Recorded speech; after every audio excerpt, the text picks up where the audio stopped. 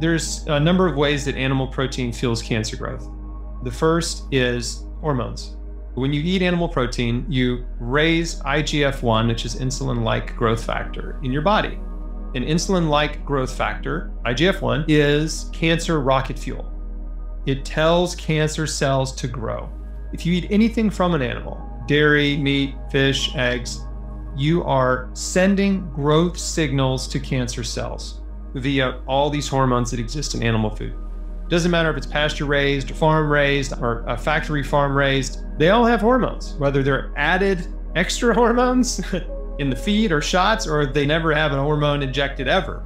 It's a living being, it's full of hormones. Hormones in animal food fuel cancer growth.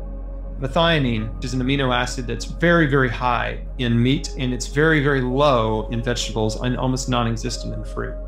Methionine is an amino acid that many cancer cells are dependent on to survive. The third way is saturated fat.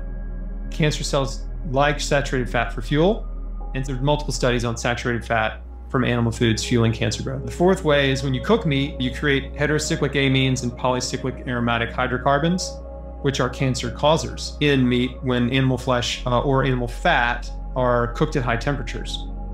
Bacon is an example that most people don't know, but processed meat, bacon, sausage, jerky, hot dogs, lunch meats, processed meats are a group 1 carcinogen. That's the highest level of evidence of any substance on earth in terms of the confidence that it causes cancer. Cigarettes, arsenic, and bacon are all group 1 carcinogens. They cause cancer. Red meat is a group 2, which means it has a lot of evidence, not as much as group 1. There are a number of reasons why animal food fuels cancer growth. And again, I don't come at it actually from a vegan perspective because I'm not a vegan. I eat a plant based diet, but I do eat a little bit of animal food a few times a month. I might have some fish or eggs or something. But my diet's about 98 to 99% plant based. My health journey went from healing cancer to once I was healed, I went down a lot of dietary rabbit trails paleo, Weston Price, I went down all these holes and experimented with a lot of different diets because I was curious. I, I was interested in longevity. I'm cancer free now. I'm alive. I'm healthy. How do I need to eat and live long term? Being a raw foodist, it's not a healthy diet long term.